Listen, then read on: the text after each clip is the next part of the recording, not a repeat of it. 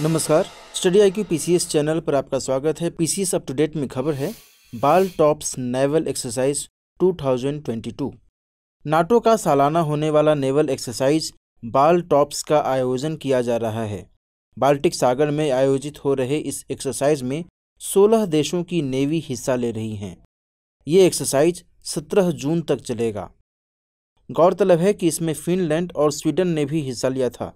Finland और Sweden ने NATO में आधिकारिक तौर पर शामिल होने के लिए मई 2022 में अप्लाई किया था।